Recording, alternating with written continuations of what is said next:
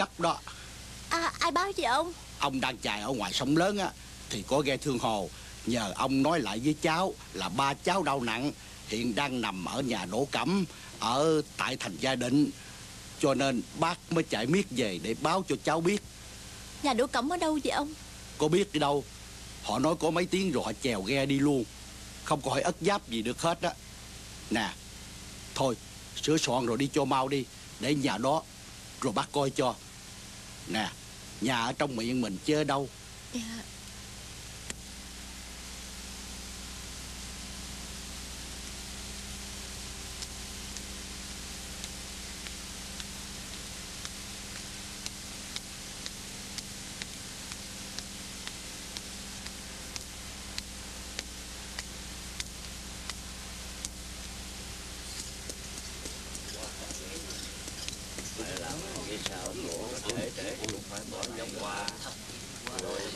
Mấy chú ơi Mấy chú biết nhà đỗ cẩm ở đâu Chỉ dùm cháu. Tụi em ở đâu tới vậy? Con gái đẹp mà đi lớn quá ở trên này. Coi chừng bị ma bắt à nghe. Mấy chú biết chỉ dùm cháu Cháu đi tìm cha. Nè Cha của tụi mình là ai vậy em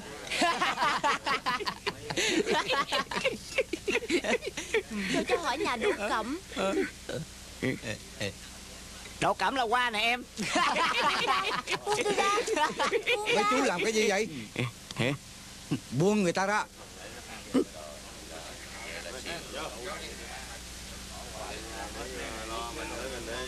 Cô đi đâu đây? Dạ cháu tìm nhà đỗ cẩm Kế bên đây chứ đâu. Kia kìa đó Căn nhà lớn hai gian đó. Cô ở dưới giường mới lên hả? Dạ. Đi đứng ở đây Nhớ coi chừng đó. Ở trên thành Thiên hạ không như dưới giường đâu. Dạ. Thôi Cô đi nha. Dạ cảm ơn bác. À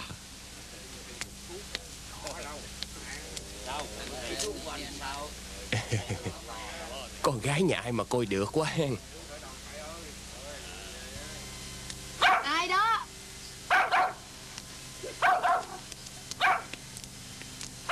Cô kiếm ai? Dạ Cháu là con của Lý Kỳ Nguyên. Nhận được tin cha cháu bệnh nặng Cháu lên ngay đi ạ. Cờ khổ dữ hồn. Qua nhắn hơn nửa tháng này Sao bữa nay mới lên? Vô nhà đi Vô Vô. Dạ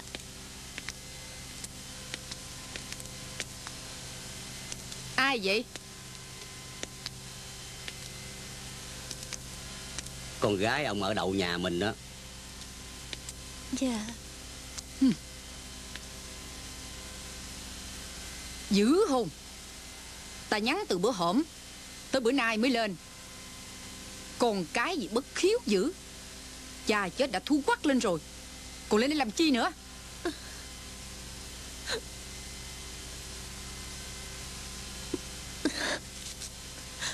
Cha cháu chết hôm nào? Đau sao mà chết vậy? Chú thím làm trước Nói giùm cho cháu biết một chút. Ông đau bệnh gì nặng lắm, Nhưng qua đâu có phải là thầy thuốc mà biết. Ông già em hại qua quá, Vợ chồng qua có bao nhiêu vốn liếng, Làm tiêu hết. Lớp cơm nước nè, Rồi lớp thuốc thang nè. Ờ mà em phải lo trả cho qua Vì tiền đó là tiền ơn, tiền nghĩa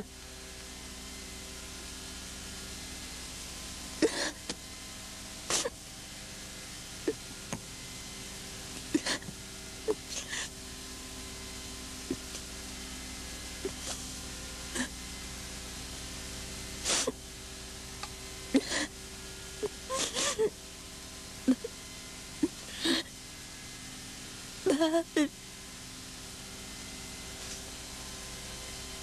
kể gì. Thì ông cũng đã chết rồi. Bây giờ cô phải lo tính tiền cho vợ chồng tôi. Để coi Một tháng tiền cơm nè Mười ngày tiền thuốc Tiền đám ma, chiếu cói.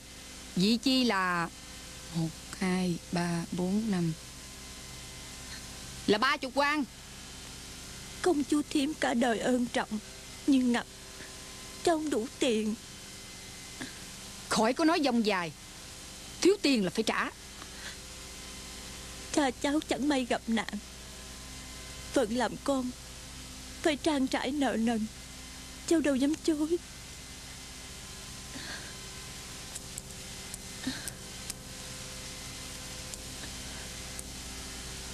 Chu Thiếm cầm đỡ năm quan tiền này. Đó là toàn bộ gia tài tom góp của cháu.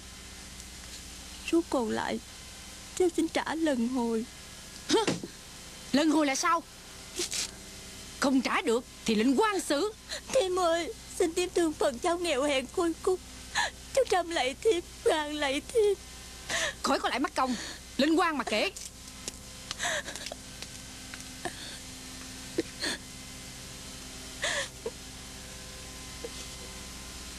Dạ Cha nó ở đậu nhà vợ chồng con Để đi thi Dạ tiền cơm chưa trả. Đùng một cái cái ngã ra chết à. Vợ chồng con phải tốn hết 35 quan đó.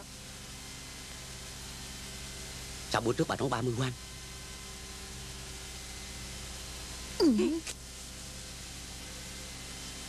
Thị Nguyệt Thật hư ra sao? Dạ bẩm quan Đúng là như vậy. Cha con ở đậu đi thi Không may bị bệnh chết.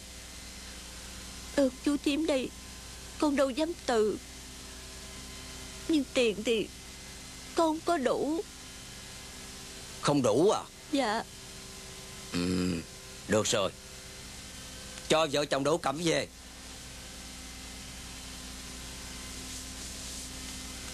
Dạ. Dạ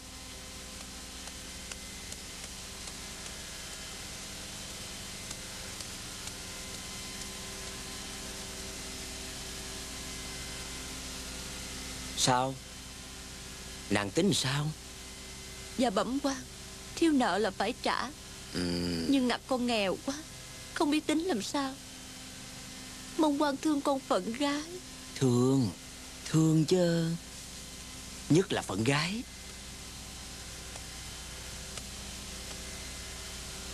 Nàng có muốn ta xóa nợ cho không? Ơn nghĩa phải đền Nợ nần phải trả. Ừ. Vợ chồng Đỗ Cẩm đã làm ơn Con phải trả ơn. Ơn nghĩa gì vợ chồng cái thằng đó. Năm sáu quan tiền cha nàng mang theo ít lắm sao? Tiền cơm tháng thì giỏi lắm Hai quan. Thuốc men hmm, Bằng cớ đâu tin được. Chôn cất thì chắc nó làm sơ sịa thôi. Có nợ lại thì Giỏi lắm Vài quan là quá lắm sao Con nghĩ chú Thiêm Đỗ Cẩm là người tử tế. Tử tế? Tụi nó mà tử tế. Chỉ có ta. Ta mới là người tử tế.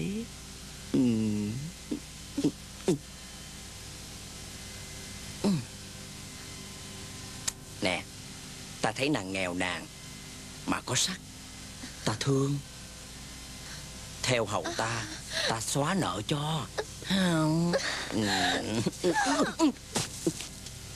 Mm.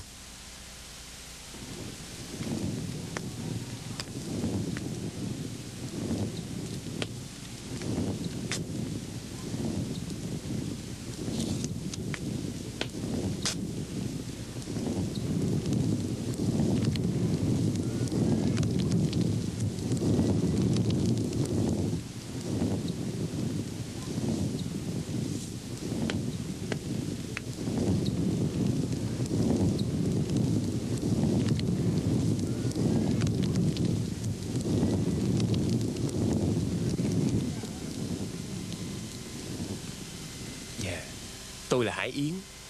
Ở tỉnh xa lên thành để học. Ở trong thành đông người chật chội Ừ. Học hành không tiện. Thấy nhà chú mát mẻ Tôi muốn ở nhờ. Ừm. Thầy nói vậy chứ. Nhà tôi xịt sạc lắm. Tiếp những bậc công tử như thầy Làm sao cho xứng? Không hại gì.